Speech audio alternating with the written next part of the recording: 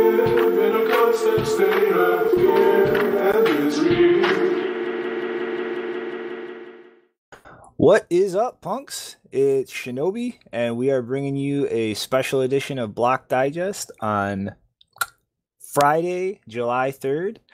We have Mr. Allen Piscitello from Blockstream. Um, and I really wish that this was under different circumstances. Uh, gonna have to put you a bit on the hot seat or hot seat today. But uh, what's going on, Allen and uh, Janine and Chris? Hey, thanks for having me on. Monkey is not missing in action.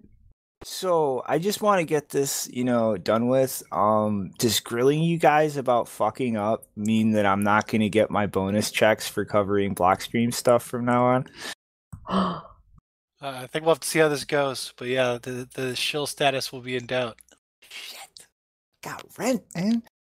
But yeah, you know, um, in, in all seriousness, no, uh, let's kind of just dive into it. Um, so you know, th- this was uh a decent fuck up in terms of the liquid network operated in a manner that it wasn't supposed to and it caught quite a bit of attention but um I, I know you said before we got going though um in the episode where i covered that on the normal show i didn't quite describe the the mechanics of the pegging mechanism correctly so i guess uh to kind of frame things properly you want to break that down and explain how it actually works Yeah, sure. So uh, there's there's a lot of moving parts in Liquid. First thing, it is a very complicated system, and probably one that I'd say very few people fully understand all the pieces. And and so because of that, like at Blockstream, we have a lot of people who specialize in in parts of this. So I just want to kind of give the high level overview.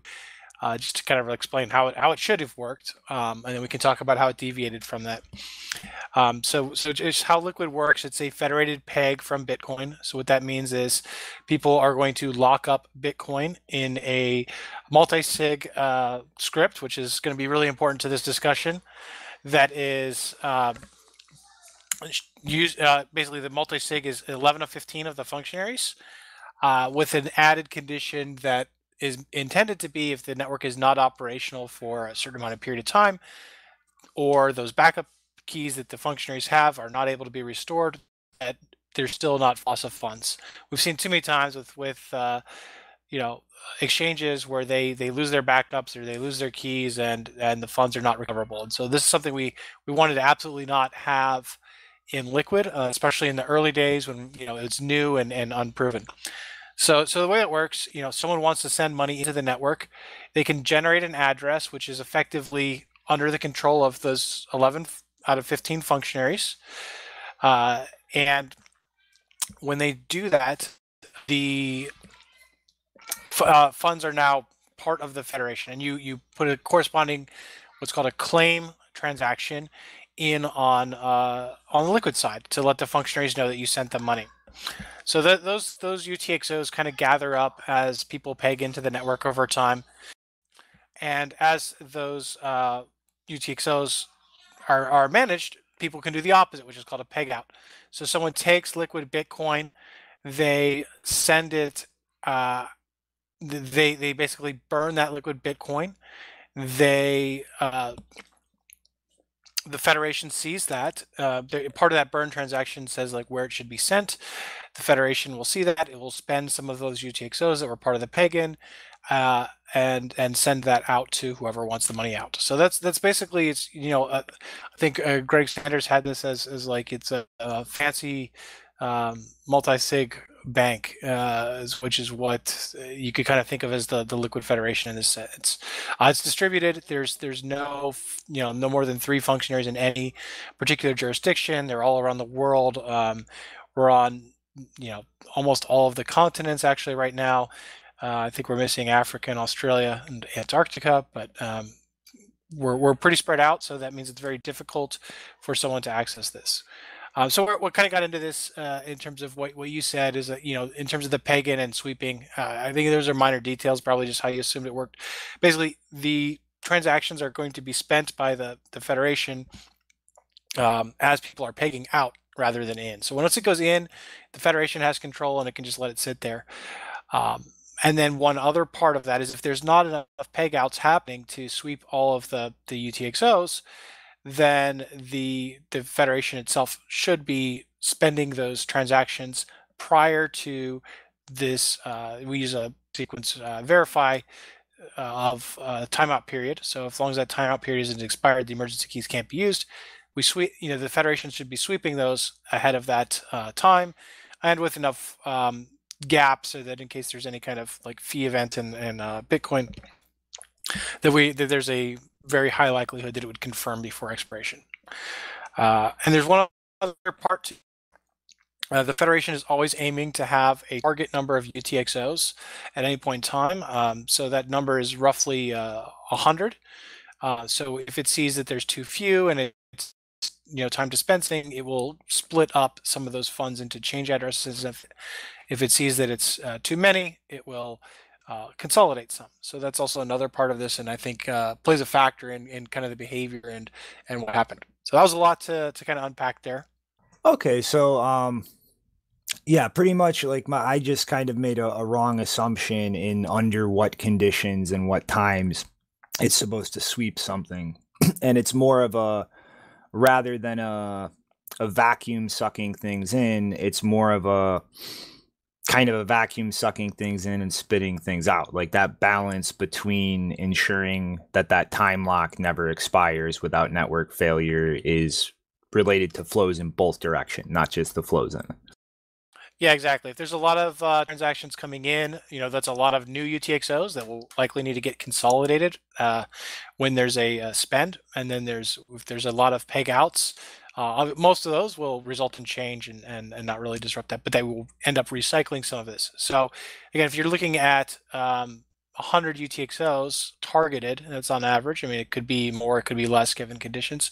Uh, that's pretty considerable amount of um, activity that would be needed to automatically spend that on its own. And again, like um, you know, during the early days of the network, that's not going to be that significant. There's not a lot of outflows of the network. It's it's mostly inflows we've seen, um, and and and you know there are you know just Blockstream as part of our uh, as being a service provider for the Liquid network, we run um, testing on the network to ensure things are working properly. So we have like a daily peg in and peg out. So anyone who's who's kind of monitoring that, um, you know, monitoring the liquid wallet, they can see that there's, you know, a thousandth of a Bitcoin being put in and put out every every day on the network, and that's really just kind of for our monitoring purposes. But but like that's that's not enough to spend 100 UTXOs reliably. And the other is when we do peg outs, the UTXOs are not really um, spent based on age; they're spent just randomly. So, um, you know, you could just get bad luck, even if you were just relying on the peg out mechanism, where you know you you have 10,000 peg outs, but maybe one just never got chosen.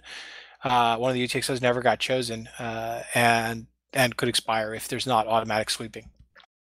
Okay, and so that was the the whole logic for having some kind of behavior function to just check and sweep um, when you get close to the the time.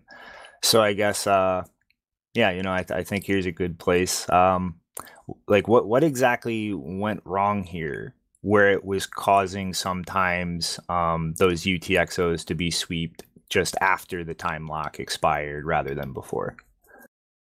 Yeah, sure. So so the this all comes back to one um, mistake uh, that happened at the launch of the network. So uh, we we had a liquid test network where we were just operating it on our own, just for people to test and integrate. Uh, and the time lock on that was set to four, uh, 2016 blocks, which is about um, 14 days. It's a pretty short period of time for for this. Uh, so we had all our code set up, we had our test network all running, and we're getting ready to launch the network, and we're trying to decide on what those parameters should be. Um, and you know, the, the error of it's a new network, no one knows what's going to happen, no one knows how these functionaries are going to be able to keep their servers up, or if they're going to be responsive or responsible in keeping backups. So we chose a day, you know, we chose uh, a four week time period, which is 4,032 blocks uh, as just kind of an arbitrary number of that's the most amount of time it would take to get all the funds out of liquid with the emergency keys if something happened. Uh, looking back in hindsight, it probably should have been a bigger number. We probably should have been higher, but but given that Liquid hadn't launched and we'd never had anyone running a functionary other than Blockstream before that, uh, we, we erred on the side of caution. Um, unfortunately, what did happen, uh, and this this kind of goes into the understanding of how Liquid works. Liquid functionaries really have two parts. One is just kind of like a stock off-the-shelf server, high-performance server that's running Liquid nodes and running Bitcoin nodes. It knows how to construct transactions. It's very powerful. Um, but because it's connected to the internet and it's it's doing a lot of things, it's it, it has a bigger attack surface. Uh, whereas the HSM is a, is a subcomponent on here, which is communicating with the the server over a serial line, which is very limited in terms of what kind of communications are going in and out. So it's it's very would be very hard to attack that particular aspect uh, remotely. So that that HSM is is responsible for signing Bitcoin transactions it has the and also signing liquid blocks, and it has rules about it. So one of the rules for the liquid blocks is it doesn't allow uh, reorganizations of the chain more than one block. And on the Bitcoin side, it's making sure that all of the money that's it's signing is either going back to itself as change, uh, itself being the whole federation, uh, or the uh, or that the um, funds are going to uh, one of the uh, whitelisted parties. And you know, currently there's for payouts, it is only going to a whitelist. I would love to expand that in the future, and we have uh, some ideas on how to do that. But just for simplicity, um, you know, it's just checking to see if it's a whitelist. So this ensures that even if those functionaries, and that would take hacking uh, 11 of these around the world um, to do that, to pull that off, the worst it could do is it could try to get a signature from the, the functionary, I'm sorry, from the HSM, which would only sign things to go to the federation itself, which no big deal if it pays itself, or to a whitelisted ad, uh, address of someone that you know if if someone hacked it and, and sent it to them, it'd be very clear. Um, they would they, have an obligation to return those funds if they weren't. Uh, uh, you know, authorized if they weren't their own. Uh, so what happened was the HSM's logic for what is my own address didn't deviate from, uh, it didn't make that change. So it was still stuck on the two week time interval whereas the functionary server, which is the one creating the transactions, was still on the four week, uh, 4032 block cycle. So what happened was when, when Liquid launched, they disagreed and the HSMs refused to sign transactions because they saw the change going back to what they it thought was an unknown address. It didn't it didn't understand that it was actually the correct address. Uh, so to get around this, um, and one other thing to keep in mind, the, the functionaries are designed to be updated. Um, not super easy to update. It does require physical access for the operator to go get to it and um, physically access it to to do any kind of updates. Whereas the HSM is really not intended to be updated at all, and it, takes uh, considerably more effort to do this. It's possible, um, but it, it, it's it's it's not something that we would expect um, normal operators to do this. So since we can't change the the HSMs very easily, what we could change was the uh, functionary. So the functionary would just, uh, even though the peg ins would be using this four week timeout, the functionary would request change to the two week time period uh, instead. So this is where it was kind of had some special off logic on this. Um, so by around this time, also we're also realizing that you know sweeping is not sufficient. The Liquid network is pretty insignificant at this time. I think we're we're we're talking under 50 Bitcoin. Um, and again, that 50 Bitcoin is split among 100 UTXOs. Uh, and so we, we we implement the sweep logic to force this to happen. The sweep logic looked at the code on the functionary and says whatever the period is, divide it by two, spend it halfway through the period, uh, uh, so that we have roughly two weeks for it to not expire. Uh, and this is again kind of goes into specialization um, it was the functionary code itself is using its numbers. HSM was using its numbers. So the sweep logic was out of sync with what uh, was actually going on with with uh, what what reality is of those things. So that's why it looked like it was spending it immediately after um, after the timeout, which is half of the intended period. Uh, so it was waiting until 1016 blocks had gone by. The next function uh, round, Watchman round, those happen every roughly 20 minutes or so, uh, happened, and it spends the funds, and it takes you know some amount of time for those uh, to confirm. So again, this is liquid small. The amount that's expiring is is relatively small. over any period of time, you know, half of a Bitcoin at any point in time. Uh, the keys, I guess, probably worth talking about the emergency keys. Those are something that were, uh, you know, three parts of them spread all around the world, stuck in uh, cold storage where it would take, you know, many days to be able to get to these things, even if we needed to. So, so realistically, from from an internal side of the risk, it, it was it was quite small. Uh, of course, coming from the outside perspective, no one knows anything and has to rely on, you know, what is Blockstream doing with those keys, and what is the worst thing that could happen, and and and that's something where uh, once we noticed that that they were out of sync, it would have made a lot of sense to to do that earlier.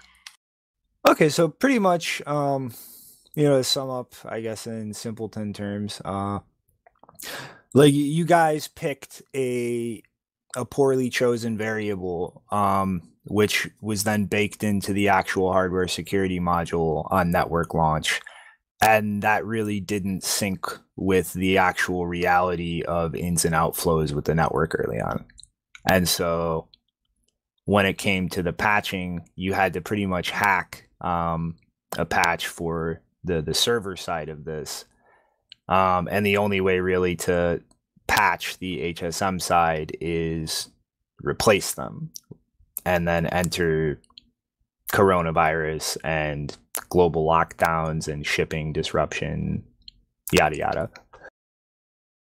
Exactly. So so this kind of goes back into our our, our bigger term plans of of releasing something called dynamic. Right now, Liquid is very static.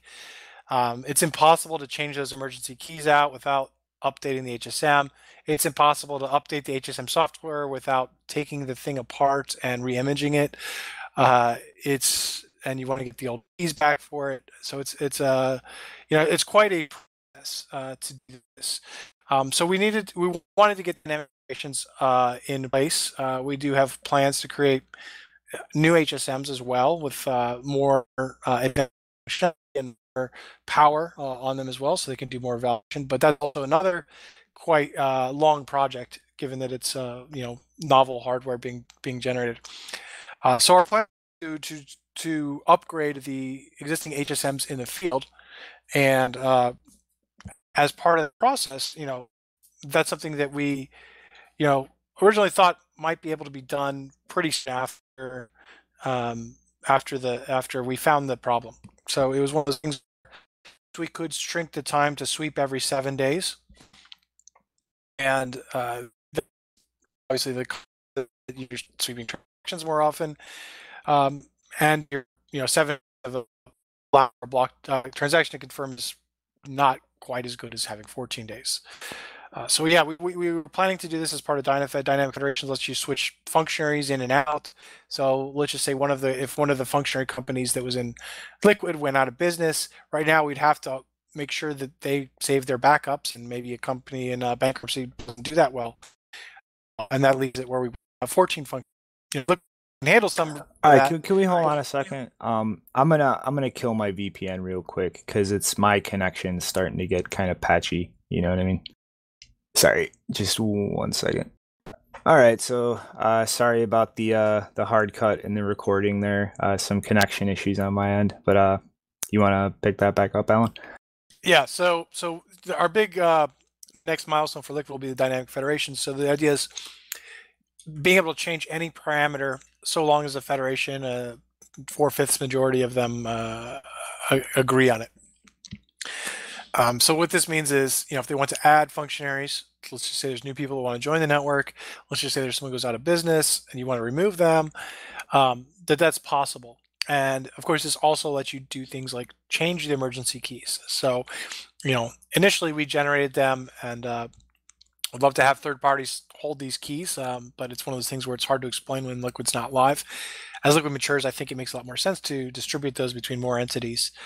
Uh, and those keys can be changed out and replaced, or the time period can be changed. So this is that was our opportunity to really fix this in the most clean way possible. Um, now, reality is uh, sometimes it's it's worth doing things a little unclean, uh, and that's where comes into, you know, was it the right time to wait or not? So, so yeah, COVID and all that. We're planning to do the the upgrade of the HSMs.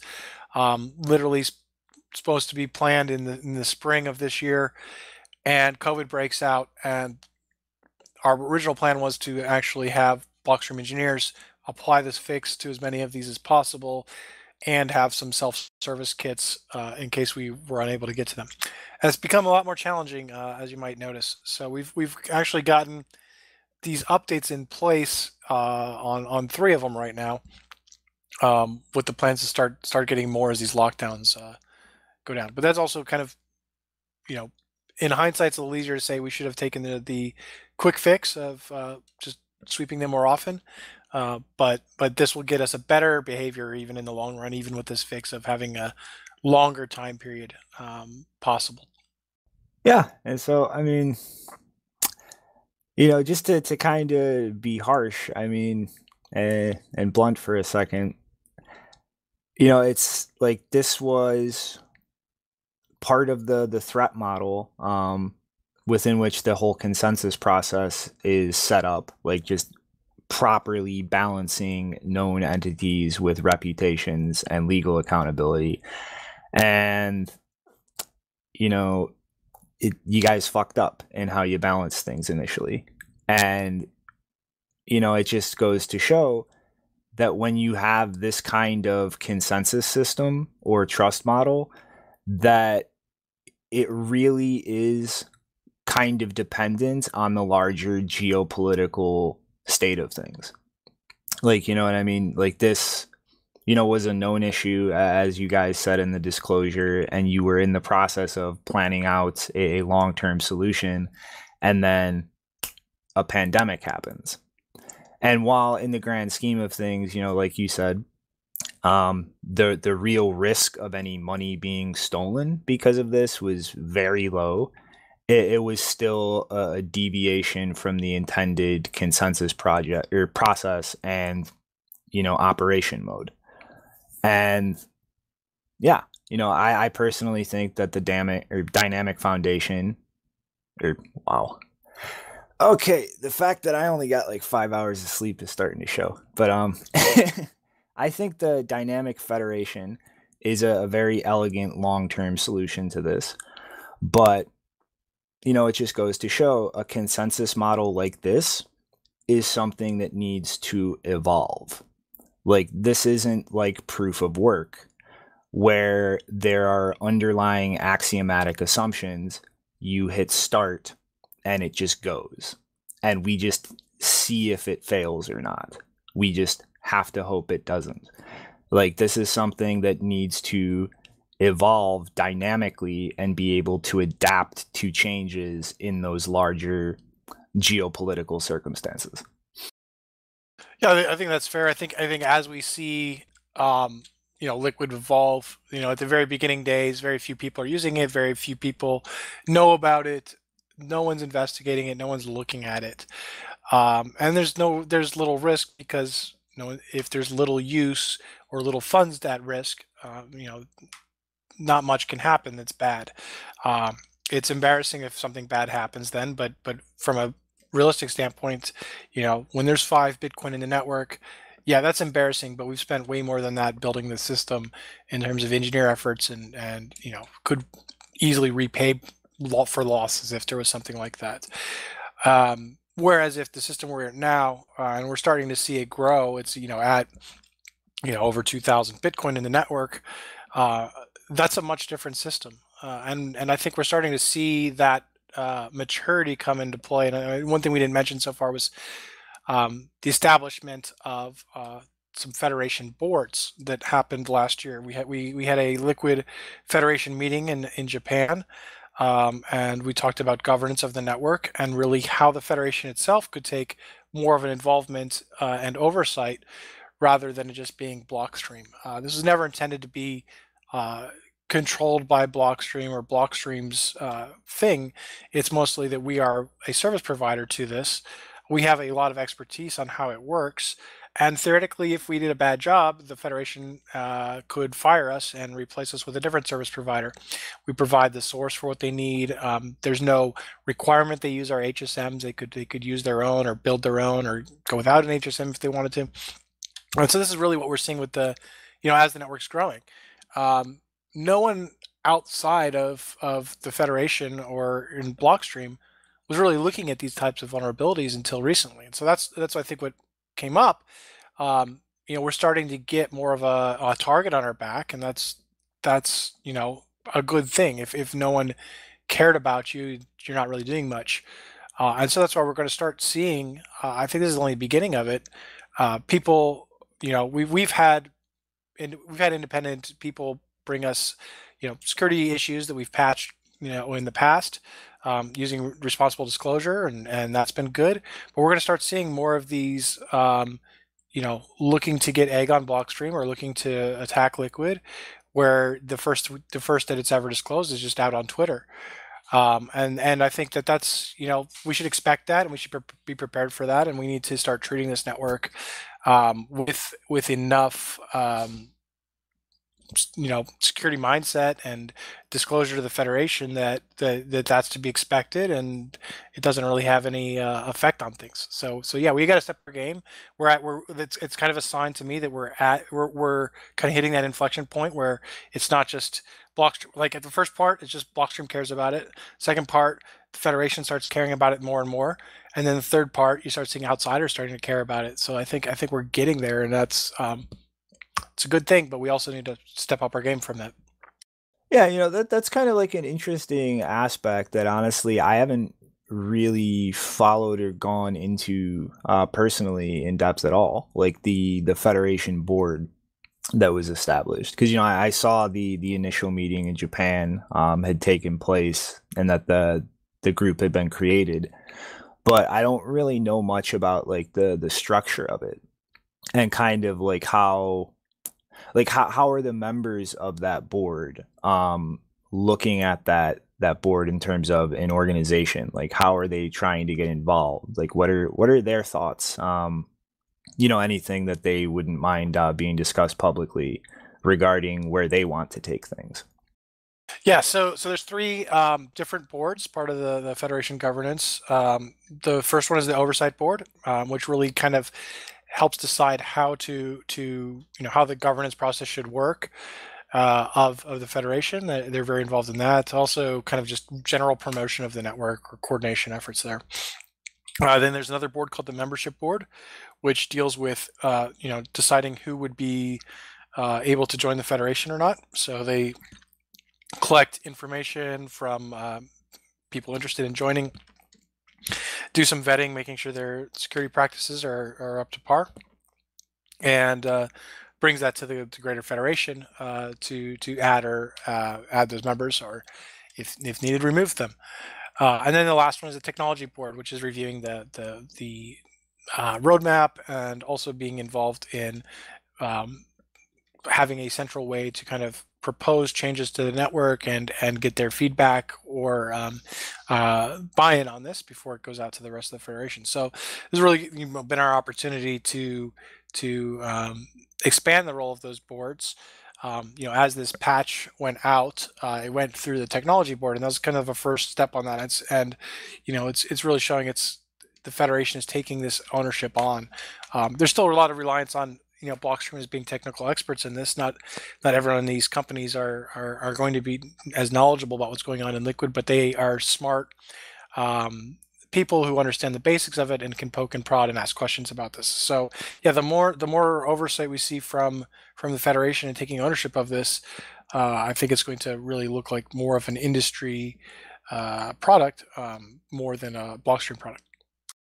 Yeah and it's you know the, like the kind of thing like with these different boards the way you broke them down i'm wondering is like what what kind of like overlap or or um a lack of an overlap let's say in terms of different uh, federation members are there for each of these boards? Because you know it, it really seems like this is kind of trying to specialize the different i don't know stack layers of of the network and all the participants and, you know, that seems like a lot for every member to be fully involved in each of the individual boards. You know what I mean? Yeah, so so the boards are set up to have um, five members each, and and uh, the board or the the federation, as part of the, the original governance meeting, kind of decided that there shouldn't be someone on the oversight board and uh, any other board. So you could be on the membership and the technology one, but it was a little too. Uh, there's a concern there might be too much power of the oversight board for someone to be there and someone else. So you know we have 15 seats. Some of them, you know, some companies are on have uh, have a member on two seats, uh, two of the boards, um, but it's pretty spread out in terms of that. And and the federation boards can, uh, you know, are reporting back to the rest of the federation that don't necessarily have members in there. And this was this is an election process where you know the each member had a vote um, to to put for this, uh, and and selected one of the you know the people who who were wanting to run for it, and uh, the top five vote getters were the ones who were selected. Okay, so you're you're actually, or, or rather, all of you are actually trying to have kind of a a thought through like checks and balance system that's I I don't want to say democracy uh because of all the stupid connotations of that, but kind of like democratically rotate people through different boards and positions there and kind of make sure it's it's not ripe for like a few members just dominating all of the different boards. Yeah, exactly. So there's you know again the impact of one they can't stack one particular board or even even be on all of them right now. And of course, it's up to the oversight committee to kind of set those rules. We we we expect it to evolve with time. Um, that that initial rule maybe maybe was too strict. Um, we we had actually um, fewer people want to go for the oversight committee because they wanted to kind of go for the other boards, and they didn't want to limit themselves. So uh, you know, I think it's going to evolve with time. Uh, it's going to evolve with um, how um, you know the processes of, of of how this how these things evolve, and ultimately, a lot of this, this stuff really does come down to the functionaries in the end because the functionaries are the ones running the code when dynamic federation they're the ones who add the new members to that white list. Um, if two thirds of them don't agree on things, uh, then it won't move forward. So the boards are kind of just you know one way to kind of manage the process and and make it easy to uh, to you know coordinate. It's more of like a coordination problem um, rather than a power thing. So I think that's that's the other way to look at it. Is they're they're not they're not like some powerful entity. Um, it, it all has to get approved by the federation anyway. Um, now they just may they can choose to just go with whatever they say, or they could choose to be, you know, you know, try to veto that if they needed to. So it's a very, um, you know, hard system to to to change uh, unless there's agreement. So I think that's a good thing.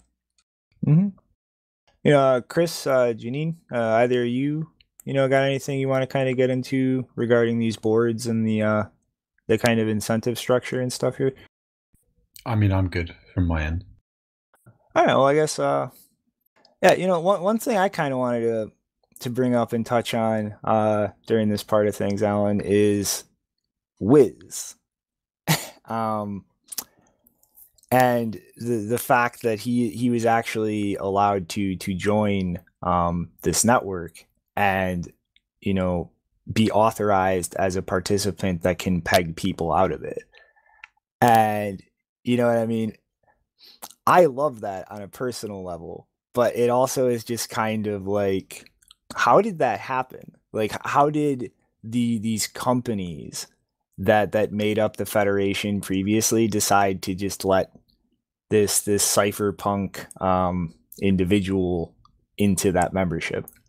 Yeah, so I mean, technically, it is not Wiz the person in. It is Wiz has a it was a company that that is doing uh, Bitcoin services. So um, in terms Okay. of in terms of doing that, yeah, I mean he applied with his company uh, to join. Um, there is a federation charter that that that members are um, you know the, the oversight board came up with and um, re- and basically that's what they require um, members to to sign. And so it's basically um, it's been a while since I've looked at it, but you know basically they're not going to use the network for bad purposes or try to harm it in any way. Um, so yeah, I mean, like as uh, as far as providing a service to the network, um, Uh, I, I don't want to speak too much to anything he, he hasn't disclosed publicly, and I don't know what he has or hasn't. Um, but in general, he's looking to build services on top of uh, Liquid and make it more accessible. So I know, like I know, uh, he's helped with the Bisq integration. Uh, that's been one thing. So again, he's he's adding value to the network, and I think the Federation appreciates that. Um, and it's up to them to to decide. So you know, who is is that sufficient? Do we need anything more? And, and again, also also the risk, right? So the risk of as as a member um, to the federation really is he gets a vote now, uh, and he has a pack country to be on that whitelist. So um, it's it, is a kind of last ditch security effort that whitelist. It's not it's not the main security um, that we have built into Liquid, but it is something. Um, but it would take a pretty substantial effort to, to even you know, and collude with him to to do anything kind of evil with the network. So it's just kind of like one of those things where it's like a low risk, high reward situation of of adding uh adding him to the network. Yeah, because it's you know um one of the things that is kind of like that um you know Wiz being brought into the Federation that really made me start thinking about is the like how dynamic will the federation be as it continues to grow like how how willing will the the the federation be as a whole to bring in new members uh like wiz i mean you know what i mean? Like he he is a, a straight up cypherpunk. Like he is trying to build bitcoin services and stuff as cypherpunks would want to. And you know i'm, I'm it's just kind of I like I can't personally decide which way I see that going. Like that maintaining that kind of dynamic willingness to let a participant like that in or if things will kind of ossify and the federation be very hesitant to let any member in who would be from a, a legacy point of view uh, a risk you know what i mean Yeah, it's uh, federations are are certainly um, interesting. I mean, even if you look at, um, I'm just use this as an example. You could have, let's just say, Liquid is is evolved and now be, you know, the technology behind Liquid is is used for um, banks to do some type of settlement between them, and you might have a situation where like, you know, five of the big banks get together, but they're they don't want Wells Fargo in for whatever reason, and there's always someone who doesn't want someone you know there's someone that's not deemed good enough to get in and there's always someone who thinks that they're too good to be associated with these people. So it's kind of it's kind of weird at both both extremes of uh, uh what you get here. So i think you know what will we see with liquid? Um hard to tell. I mean it may be the situation where you know it specializes in kind of one one niche area and there's maybe another federation that's needed for different purposes with different members that feel more comfortable uh, around each other. Maybe you have a federation that's just Swiss regulated entities because they feel comfortable with that, and that that's just how that one works. It doesn't have to be one federation, and you know, as a user, you can trust who whichever federation you want or, or none at all. Like this isn't trying to replace Bitcoin. It's not trying to. Um, it's not trying to, to to to do anything. It's just trying to make the um, the the existing custodial models more secure. So I mean, everyone right now has money on an exchange or is, that's trading is moving it back and forth. There's a lot of trust already of those exchanges. It's not really a change of that model. You're not hodling your money on on liquid. That's not that's not the intent. So again, who you can choose to do business with with who you want, and it may be lots of federations. Um, there may be one, you know, there is a, uh, you know, big network effect of having one big federation where it's it, it can might be costly and just there's a lot of integration points around that. And um, it would have to be a pretty substantial you know once we get to that point it might be really hard to do a new federation. And then maybe you know you know goldman sachs joins liquid or something crazy like that could happen or the you know federal reserve or something joins liquid i mean that would be crazy right now thinking about it but but who knows or maybe it would be a separate federation Okay, so this I think um, is where I'm going to springboard into autist land. Um, I guess just to keep things sane, uh, I don't know. I'll start with liquid itself and what that can be, and then after that we can go into what you can do on liquid. But um, you know, you're speaking of multiple federations. Um, ever since Blockstream first uh, published the the concept of dynamic federations and announced that was on the roadmap, um, my brain immediately took the federation set that is in charge of sidechain consensus and the federation set that is custodying coins in the main chain and ripped them apart and went why the hell do these things have to overlap 100% um and you know with with the kinds of changes you guys are trying to roll out to the hsms right now to enable that um in in the really long term um i see some crazy system evolving that i think people have a hard time conceptualizing right now. You could have 200 people involved in a single federation set as far as block signing on the liquid sidechain. And you could have 150 different non overlapping sub federations that handled pegging Bitcoin into liquid. And that is as easy to represent on the sidechain as create a new asset. And people can distinguish when interacting with that who is actually custodying it on the main chain and who they're trusting there. Like that the the entire protocol for dynamic federations it enables a crazy amount of dynamism beyond just add and remove participants like you can completely separate the the bucket of participants arbitrarily however you want So actually, yeah, what you're saying is actually not even, possible today. Um, and actually, um, you know, there's been interest in this as well. So let's say you just do not trust the the functionaries that are there today, but there was a different federation that you do trust. Um, and what you could do is you could have a separate peg that's Bitcoin in liquid, issue it as another asset run by that federation. And as far as most users liquid concerned, they don't even know this thing exists. They just know there's some asset out there. They don't have to know the supply of it. They could just based on how liquid works. Uh, but there could be multiple bitcoins on um, on the network, and and the federation really has you know the most power they have is really with point because they do have that 11 of 15 that if they you know got extracted keys from their HSM and things like that they you know could access. Uh, but if you have just in terms of block signing, the only power they really have is they could make chain forks, and that's very provable that that happened. If you have two competing chains that anyone ever detects, it's very good proof that the federation was was um, you know not not doing what they're supposed to be doing. But that underlying Bitcoin, they have no control over it for a separate peg, if there's a separate federation to do this. Uh, so this is exactly what we're seeing already with also with altcoins as well. Um, I, I I don't know if anyone's monitoring the the asset registry, but but there's been a couple of uh, you know added assets for like an Ethereum peg and a Tezos peg, and uh, I think even there was a BCH peg early on someone made, and it's just independently operated, and it might be you know one guy that just does it. Um, or one company, which I think is kind of similar to what a lot of these wrapped um, assets are on Ethereum.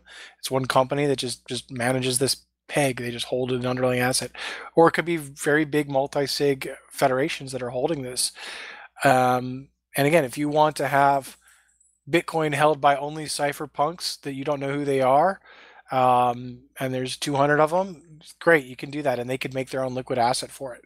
If you want to have it only where it's you know Swiss regulated, you know banks or, or other companies that hold these assets and they make their own token and you can only interact with that one if you want to. So this is already already possible today. Obviously the, the mechanism for monitoring and updating the asset is is something someone has to build um, but it's 100% entirely possible right now. Yeah and so it's like you know th- th- this is kind of where i have seen liquid going in the long term if it succeeds for a while like it's it's not really a tenable thing at a global scale to just have this single static well single group that is changed um correspondingly in sync. Like that can just completely separate and silo and spread the risk around.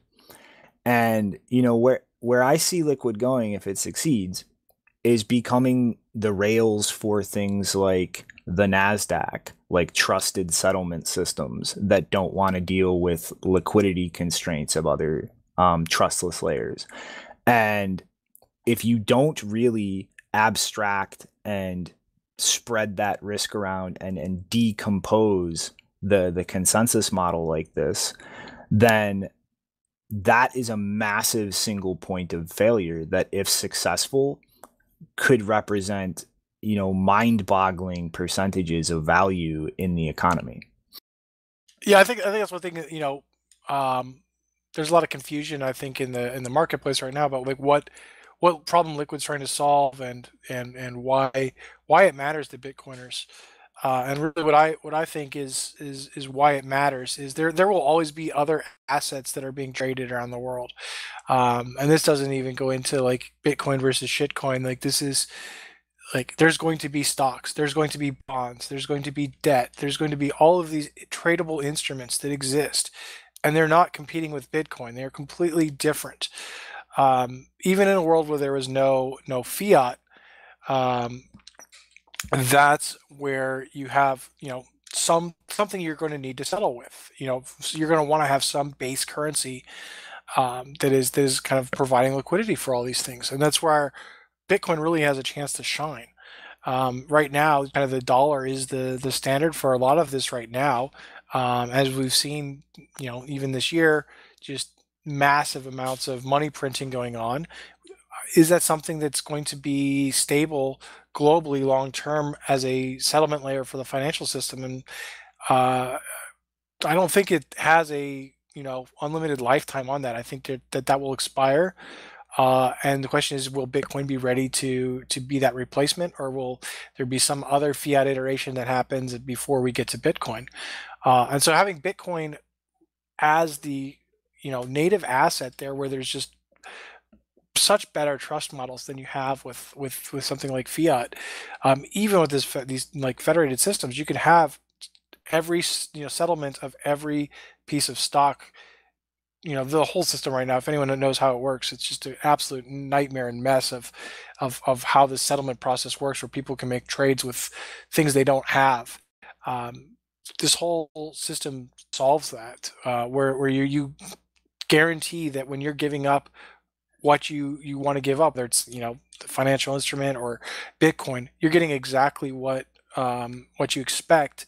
And that settlement happens you know within minutes not within you know multiple days uh, or relying on trusted third parties to do all this. So this is something that that really has the, the potential to to spread far beyond the bitcoin ecosystem but also make bitcoin a key part of it. And so that's that's that's what's interesting to me and i think a lot of a lot of bitcoiners miss is um, i want bitcoin to be widely used as you know become the global world reserve currency. I think that's that's something it has the potential to be and and is just fantastic because it doesn't rely on any you know any set of people in power any um, particular nation um, to that can destroy it. And we've seen you know if you have the power to benefit yourself or your protect you know the people that are uh, close to you or or you know powerful interests uh, with these currencies that are controlled by man it happens. Uh, whereas bitcoin that can't can't happen uh, at least not if we're vigilant. So that's that's something where where i think building these these products um, you know you have to be thinking way in the future um, for how that might fit together to, to really kind of see it but but once you do um, that that's really the long term goal and kind of the play we're going for here at uh, Blockstream is really, you know, re uh, reinventing the whole financial system, um, with Bitcoin being the key part, you know, centerpiece of it. Yeah, because it's you know like the the the the the use case being sold right now with Liquid directly to people in this ecosystem. It's it's as simple as just faster arbitrage trading. And that's a very useful thing in terms of just improving the experience for traders if they're okay with that trust change and just pulling that off of the main chain so that it scales better for other use cases and you know that also goes into the otc stuff um, i think can be a very interesting environment for in terms of disintermediating a lot of the trust in an otc trade.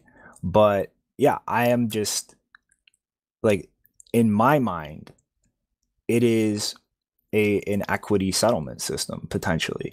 It is the thing that everybody issues their stocks on rather than the nasdaq and yeah like it's it's not even entirely in my mind um the settlement efficiency of those equities themselves that is a big selling point in my mind. It's just guaranteeing that the interaction between that other asset and bitcoin that exchange is atomic. Like for whoever is getting bitcoin that is very close to trustless and, you know, that just is a whole different game in terms of the people holding those equities can't shuffle or like losses off on people other than them. Like they can't try to claw things back or have money frozen or enter legal dispute. It's it's the Bitcoin has changed hand. Like that What's- risk is yours now. It's even worse than that because you know even with stock, um, no one knows. Like people, there, there's. I think there. I've seen multiple times with companies where where more people think they own the stock than there are shares issued. So there's you know it's just it's just not there's not even any tracking of, of like multiple people owning the same shares and they think they have it promised them. Like with this situation, you you you you can see it that you, you have those assets and that's it. Like you're getting a real asset. It's not just someone's promise. And everything right now is just every time it's like falling apart like we used to have paper shares of stock and then like couriers were going around new york and carrying bags of you know checks or or bags of uh, shares and all this. And it just keeps getting more centralized and centralized and centralized and rely on more and more third parties um, that have to be trusted to do this. And you have to go through a broker that goes through the, you know his broker and then it goes through this you know central settlement system. There's just so many layers of it. And of course that's that's expensive and error prone. It, it leaves a lot of mistakes. So i think this is like far more than just the atomic swap. That's that's one piece of this right now. Like you can do trades on like no one knows who owns it. So like if if you're a big trader out on there and you're one of the authorized parties you say like yeah i have you know 10,000 Apple shares. Why not I'm gonna sell them to you? And if you don't have them, like there's nothing like you have to just deal with it in court, or they get fined, or they get you know pay have to pay money into this. So it's just a really it's a really inefficient system. But given the limitations of uh, you know technology and things like that, this is pre pre computers even being being used. Um, it's it's understandable why it's that way, but we can do better now, and I think that's where it is. And throwing Bitcoin in there in the mix uh, just is another massive uh, bonus bonus I think that, that we can have. Yeah. All right, I think here let's uh let's shift gears a, a little bit uh and talk more what what can you really build on liquid in terms of science experiments. So uh Janine, uh I think you had a, a question about a potential thing that could be done there. Yeah, um, because I I only follow liquid stuff very lightly, and mainly I'm interested in the fact that you guys have implemented confidential transactions because I feel like that's an important thing for systems other than Bitcoin to be trying out certain things and finding holes in them and things to upgrade before they get added to Bitcoin.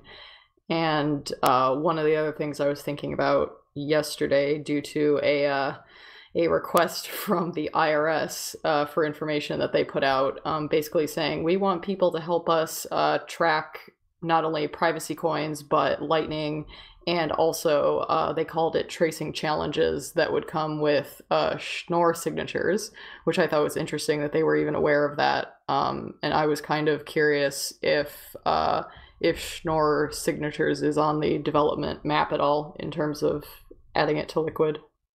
Sorry, you uh, cut out right at the end. You said about Schnorr being adding it to Liquid. Is that was that what the question was? Yeah. Yeah, absolutely. So, so this is something you know, Taproot, Schnorr, all these things are things we want to add to Liquid. Um, you know, I, one of the the kind of benefits of of Elements in general, Elements is the code base behind Liquid, and you can make your own Elements, you know, instance and and basically be a, be like Liquid of your own with it. Is that we can have all these uh, features in uh, ahead of Bitcoin um, to try out. So, so like something like SegWit actually implemented in Elements prior to um, Bitcoin, um, and so something like Schnorr and Taproot, uh, you know, these are things we're looking add in here. Uh, another thing not mentioned was uh, Simplicity. So Simplicity is the uh, smart contracting language that that will basically let you um, add more functionality to Bitcoin without actually requiring any types of uh, forks or anything like that. So yeah, these are all all big things. And again, confidential transactions. Um, those are just massive um, wins for for for privacy. Um, you know, just to give everyone a kind of a quick overview, confidential transactions. Uh, if you go to blockstream.info uh, and go to the Liquid Explorer, if you go dig into the transactions, um, there's very few that you can actually see much going on. You see addresses in and addresses out uh, but you have no idea what asset it is or or how much of it is being transferred. Uh, so that really really um, you know helps protect a lot of um, use cases. So a couple of those that are really important. If I'm trading, I'm sending money to an exchange. Uh, I'm sure everyone who's listening to this has you know seen whale alerts and all that. Like you can see that there is money going to that exchange. It takes time to confirm. People will trade against you, and you will lose money. You know, if if they can guess your intent. Um, the other aspect of privacy is if, if I'm making a Bitcoin payment from from me to you, and I use a UTXO that has a um, you know large value, and I give myself change, well, someone else knows not only not only do they know that I, that I control a large amount of Bitcoin, they know exactly what address it's in and can kind of follow that and maybe gain some more information on this. So there's there's a lot of um, benefits that you get from from confidential transactions, and and yeah, I think I think uh, funny thing is you know people are, are concerned about are the big institutions going to be turned off of Liquid because of this, and it's actually the opposite. Um, they wouldn't consider using a system where you know their competitors could spy on them and know exactly what they're doing or how much of a position they hold. Uh, so that's something that's that's really important, um, not just in Bitcoin, but outside in in just the traditional financial space, and that's that's why we've built it in. Um, that some some complexity to it, but uh, makes the transactions bigger as well. But but I think for specialized use cases, it's uh, it's nice to have that option available. Uh, and as we optimize it and get it get it better and the tech more proven, maybe it can be more incorporated into Bitcoin. You guys have any kind of like uh, timetable or uh, things on the roadmap as far as uh, Schnorr? Like I know it's probably uh, if you do pushed back because of the whole uh, snafu with the the timeout issue. Actually, the timeout issue was pretty. Uh, didn't really have too much of an effect on this. We we got that out pretty quickly, and it's actually deployed already, um, and and pretty much resolved. Uh, we'd like to get all the functionaries updated, but we only need five. Uh, once we get five, it's uh, sufficient for every case that that would be able to protect it. So that actually didn't didn't hurt too much. Um, as for Schnorr, I um, I know I wish I had better information. I know I know we've been looking at it, and just in terms of rebasing it from what you know, the code for Schnorr is is done and on the Bitcoin side, or at least ready for review.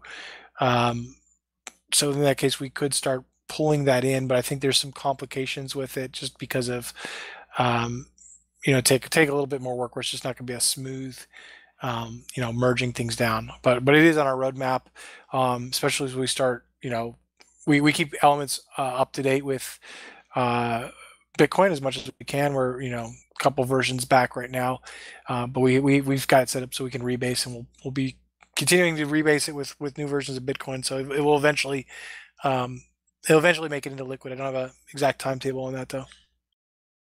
You know that the minute we're done with this show, I'm gonna have to rush off and make a meme about the main chain racing Liquid to get Schnorr in, right?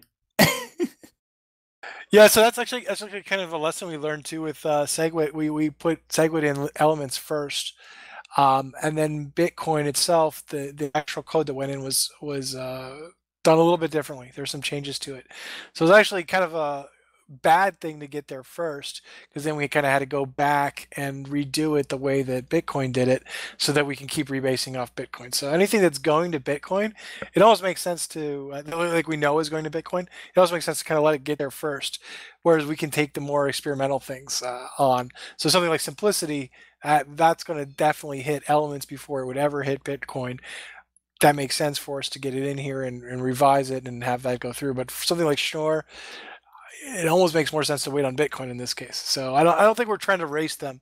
Uh, we don't want to have to do it twice. I'm still gonna make the meme.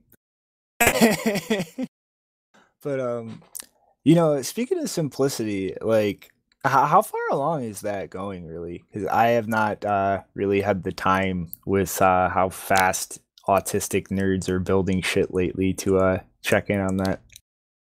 Yeah, so so actually, um, one of the latest things we've done with it is um, made forks of both Bitcoin and um, Elements that supported uh, you know simplicity. And so one of the things that um, uh, Dr. Russell O'Connor has, who's who's our developer, who's and and uh, that's that's working on this, he um, you know built some signature verification things in simplicity and and optimize them with what's what's called a jet which is basically a, a way that you can optimize the code optimize the code but still prove it was the same thing as this really uh, slow but easy to verify um, program. So so so like it's proof like it's conceptually possible right now. Um, right now i think there's a lot of tooling that they probably would need to be um, built for for it to be usable by kind of even above average developers. There are, um, but I am su- surprised. I've seen you know a few people pop in and get it running and get it working and ask questions and know what they're doing. So it's starting to kind of expand. So I think we, you know, realistically getting getting it in is one step, and then getting the tooling so that not not just like normie developers can use it, but but even like the frontier type developers use it is a little bit more time as well. But we're aiming to get um, simplicity into into liquid uh, you know within the next year. Oh that's a lot sooner than i would have thought actually. Huh. Well that's something interesting to look forward to. Yeah don't don't don't come back at me in, uh, in a year from now and if if i if we miss that but it's a kind of a you know rough target if we can get that in there. But we've again we've gotten um we've gotten the proof that it can work and it's just a matter of uh you know doing the polish and getting things ready and getting a deployment policy uh, you know like a deployment policy so it can be done and included in an upgrade. And of course it's competing with lots of other things going on in liquiding which you know obviously dynamic federations is is like the big focus of the team right now. So uh yeah a lot a lot of things competing with uh, each other but it's not as far i i was shocked when i heard it was possible to be that soon as well. So um it, it's it could come faster than we think I mean, it'd be a nice surprise. But uh, yeah, I don't know. I'm kind of plumbed out as far as stuff that I wanted to get into. Uh, you know, Chris, Janine, you guys uh, have anything you want to dig into a little bit? I don't actually have to say. Sorry. I apologize for my autism. Stop using autism as a pejorative. It's just a descriptive statement. Isn't, isn't that what uh, Craig Wright does now? blame everything on autism? y- yes. Yeah, and it's so annoying because I I mean this is off topic, but I I find it com- like if anything, if you're going to blame something on autism, his his reaction should have been the opposite. Like he I don't know. I feel like if I was in a legal case, I would be combing through every bit and piece of evidence and statement I've made as thoroughly as possible before I make it uh, to make sure that there's no contradictions and no gaping wide holes. And so for him to say, oh, I, I missed all of these gaping wide holes because I'm autistic, it's like, no, actually, I think it's if you were autistic, it would be the opposite. You would have you would have actually caught some of this stuff before you published it. I resent the underlying comparison between me and Craig Wright. I, I think we all I think we all resent it. Alrighty though. Um, it would be remiss of me to not take us out in an immature and trollish matter. Um, no. So, Allen, will you please apologize to all the Ethereum developers out there for daring to fuck something up once that didn't actually result in any money being lost? They deserve an apology. Well, I mean, I think this goes beyond the Ethereum developers. I know you were you're trolling here. Um, yeah, I mean, like this whole system, we need to be. I, I, I think we've gotten more um, criticism for for basically how we've uh, dealt with it more than what the problem was. So, again, I think this is a good lesson for for Blockstream in general. Is you know we have uh, we've been around a while, but having you know production products out there outside of green has been been kind of new, and I think this is a uh, good wake up call for us to, to to step up our game on on you know involving more people, involving the federation more, uh, making sure everything we've said in the, uh, on all our documentation is is accurate, and, and reviewing it and reviewing it, reviewing it after changes are made. So there's there's a lot we can we can do to improve, and uh, definitely we didn't intend to mislead anyone on any of this. Um, but it's much better if we just have everything cleaner and uh, concise and are, are open about you know what what is there and what isn't. So uh, yeah, definitely uh, definitely an opportunity to improve. Um, I'm really glad this you know didn't res- you know we, we haven't had anything um, that's resulted in in monetary losses, and that's something we're we're really careful about as as being kind of one of the first uh, principles we have is that, that that no one's going to lose money uh, during the situation. It's it it's that it's recoverable. It may be hard. Um, there may be outages, but it's better to be down than than um, uh, losing money. So so this this whole system is intended to be hard to change and um, hard to update and hard to modify, uh, with the intent of protecting people's money, which is I think our, our first principle. Yeah, that's a it's a fair uh, statement with which to ruin my attempt at trolling. But yeah. I, But, uh, I'm on, I'm honestly glad other people are looking at this now. So I think that's that's really good. Uh, you know, it was something where it was you know just us. We have our own monitoring and stuff, but um, more and more people giving attention to Liquid, and and even if it's just to try to, you know, attack it or, or make you know identify problems. I want uh, it- it's a good thing. That's how we're going to get better, and that's how we're going to find these problems, and and and how it means that liquid is actually something uh, that is worthy of someone trying to come at. So uh, I, I look forward to, to more of these, uh, more of this kind of analysis. Uh, again, if uh, I do re- recommend responsible disclosure, and we have on on our Boxer website, if you do find any kind of problems or anything like this, uh, please report it to us, and, and we can we can uh, go from there. hmm All right. Well, you know, thanks for coming on. I really appreciate it, Allen. Um, even with kind of having to put you on the spot about everything, uh, I think this was fun. As a less as a less note, uh, I don't know if it was mentioned earlier in the conversation, but um, if I remember correctly, it was James Prestwich who originally uh, found the problem. Is that correct? Yeah, he was the one who first publicly reported it. So it, Just wanted to mention. Mm-hmm. Well, I guess, uh, you know, yeah, thanks. It was fun. I hope everybody found it interesting. Later, Etherites. Ciao. Bye.